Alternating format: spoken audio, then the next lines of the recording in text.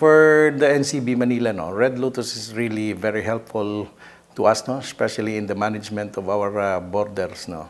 With the Red Lotus, uh, the Interpol have trained us in the way how to process these uh, people crossing our borders from other countries, no, especially from the Indonesia, Malaysia, and other parts of the ASEAN region.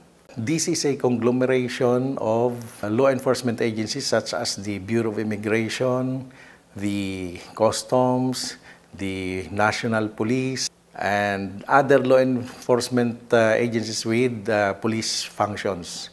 That is why uh, we are very, very glad that uh, Interpol have uh, given us this opportunity to have uh, trained with them with the Interpol uh, assistance, no, we can have this coordination with other countries. We are being forwarded from Indonesia or Malaysia or other parts of the ASEAN nation if there are some uh, persons of interest coming in to our country.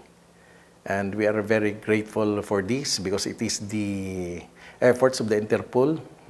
Now we are uh, also having this um, collaboration with other countries through ASEAN, but it was the Interpol that first uh, introduced this kind of coordination with other countries.